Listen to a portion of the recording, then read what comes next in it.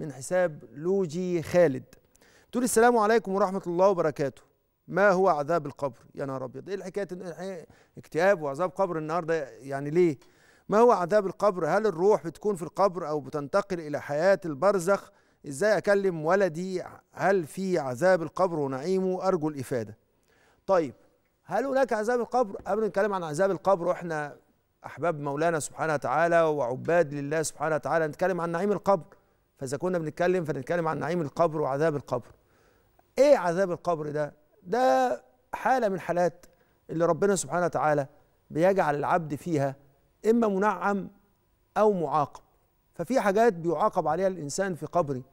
وكتير من أهل العلم عندهم طريقة إن اللي بيحصل للإنسان في قبره حتى لو حصل له شكل أو نوع من أنواع العذاب الله سبحانه وتعالى في بعض الأحيان يتجاوز به عن بعض العباد. يعني الناس اللي بيحصل لهم هذا الأمر في القبر أنواع. منهم ربنا سبحانه وتعالى أراد إن هو ينقيه قبل أن يذهب إلى الحساب فربنا سبحانه وتعالى يجعل الشفاعة تناله ويخفف من عليه ويتجاوز عنه. لكن أنت بتكلميني وكأنك أم عايزة تربي ولدك أنت من حاجة وإزاي تجعليه ما يحسش بنفس درجة الوجع اللي أنت حسيتيها لما تربيتي على مسألة عذاب القبر. عذاب القبر حقيقة. صحيح. لكن مش ممكن ابدا وإحنا نكلم أولادنا وبنربي أولادنا نربي أولادنا على مسألة إن إحنا لازم هنتعذب. أولادنا هيتربوا ويسألوا يسألوا نفسهم سؤال. طب وإيه فايدة الإيمان؟ إذا ما كانش الإيمان ده هيجعلني في أمان. ده سؤال لازم تفهموه وتكلموا أولادكم عنه. إحنا أحد أهم ثمار الإيمان إن إحنا نحس إن إحنا في أمان الله.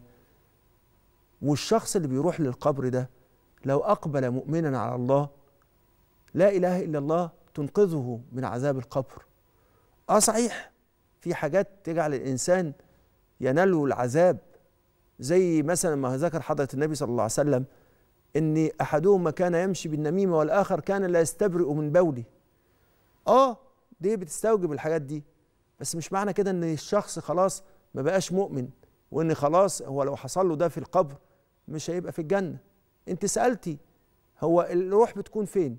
الروح أصلا حياة حياة القبر هي حياة البرزخية.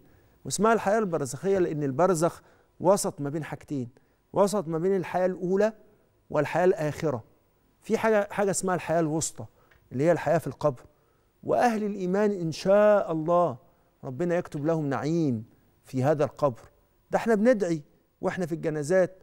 اللهم ابدله دارا خيرا من داري واهلا خيرا من أهلي اللهم ابسط له من بسط الجنة وافرش له من فرش الجنة واجعل له من طعام الجنة. إزاي بندعي الكلام ده كله للواحد في القبر ونربي أولادنا على عذاب القبر؟ أقول لك مفاجأة أرجوكم وأنتم بتربوا أولادكم ما تكلموهمش عن القبر إلا إذا سألوكم.